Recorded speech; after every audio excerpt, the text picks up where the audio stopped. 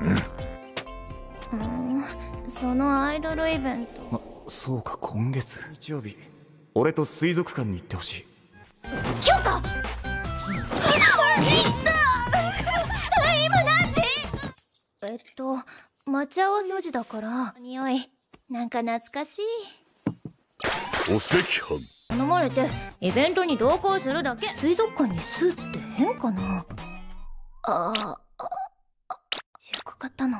何年前だっけ？あいやいや。に部屋着ダメでしょ。これはうん年前に陶器の二次会に来てったわ。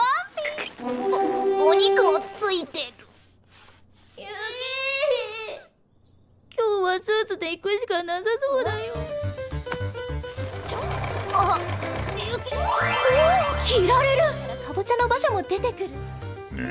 なんでもないです。なんでも。もう娘の初デートに浮かれるお母さんみたいなのやめてってば。